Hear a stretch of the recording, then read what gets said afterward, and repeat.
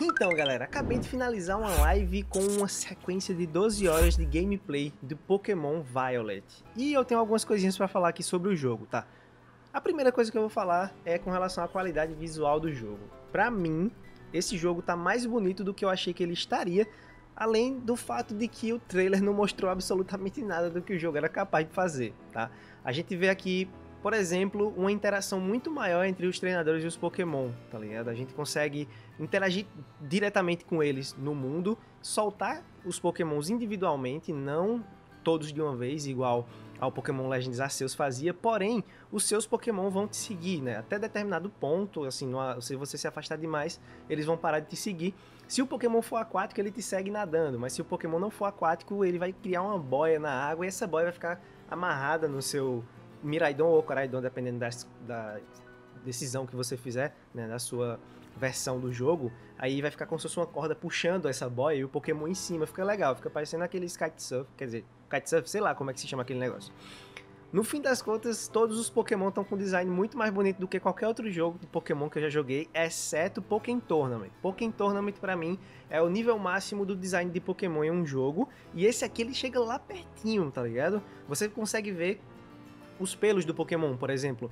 Você consegue ver. Deixa eu ver se eu consigo mostrar para vocês aqui. Ó, você tá vendo ali o. o o, o que inclusive eu já evolui ele, né? Você consegue ver os pelinhos dele, mano. Isso é muito massa, tá? Aqui nessa parte do piquenique, você consegue, por exemplo, é, criar as comidinhas e tal pros Pokémon, eles ficam felizinhos. Dá pra você... você tem aquele negócio lá de, de deixar o Pokémon mais feliz ou mais triste, e obviamente você vai poder evoluir os seus Pokémon aqui por felicidade e tal, e tem outras formas de evoluir também, tá? Não cheguei a ver as formas regionais, tá? Que são as formas, é, na verdade, as formas do passado e do futuro, né? Que são as formas que o pessoal chama de paradoxo. E eu não conseguia, eu só encontrei um, na verdade, que foi o Donphan do futuro, que na verdade é aqueles Pokémon Titã, tá ligado?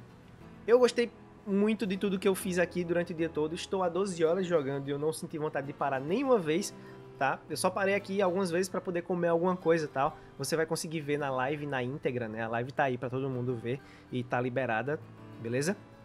Minha nota pro jogo, é, eu gosto de dar nota, eu gosto quando as pessoas dão notas, porque a gente se identifica com algumas pessoas e com o gosto de algumas pessoas.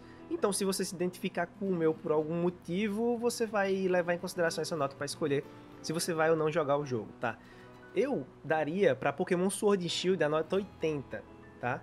80, 85 por aí. É uma nota média por esse, por assim, entre 80 e 85, tá? Para esse aqui, eu tô tentado a dar bem mais do que isso depois das 12 horas. No começo, eu achei bem chato porque é bem maçante você jogar você não consegue avançar no jogo porque tem muita conversa. Eles ficam tentando explicar coisas que não tem necessidade. Não tem a dublagem que faz toda a diferença, tá? Na hora de você jogar um jogo como esse aqui, que você precisa da expressão tal. Mas tem coisas da história que. Mano, eu não vou dar spoilers aqui, tá? É um videozinho de review rápido, só com o que eu tô na cabeça agora depois de jogar, sem pensar em muita coisa. Mas tem uns plots na história que eles são bem legais que a gente não vê com frequência em Pokémon tá? Você vai se emocionar, né? Se ele tivesse uma dublagem, ia ser incrível, mano. Ia ser muito legal. Tá, enquanto eu tô falando, você tá vendo os Pokémon vivendo a vida deles aqui, vendo glitch gráfico, porque tem muito, tá? Tem bastante glitch gráfico, bastante probleminha técnico que a gente meio que releva por todo o resto que o jogo proporciona, tá? Eu tô realmente feliz, meus cachorros estão latindo, tô nem aí, vai ficar no vídeo mesmo. Eu tô realmente feliz o jogo ele faz tudo o que ele pretende fazer de forma bem interessante, por mais que realmente tenha esses problemas técnicos. E eu recomendo sim que você compre, tá? Ah, você recomenda o Scarlet ou Violet? Mano, qual é a capa que você gosta mais? Escolhe a capa que você achar mais legal. Basicamente é essa a escolha que você vai fazer, porque você vai poder trocar os Pokémon que não tiver na sua região, na sua, no seu jogo, pelo jogo, pelo, pelo de alguém, tá ligado? Em algum lugar. Então, eu tô muito feliz de ter jogado esse tempo todo do jogo. Hoje eu não fiz nem, sei lá, 10% do jogo, tá? Até o presente momento. Fácil. Assim, do jogo que eu falo da história. Se eu for falar de tudo que tem dentro do jogo, eu não fiz nem 5%, pô, em 12 horas.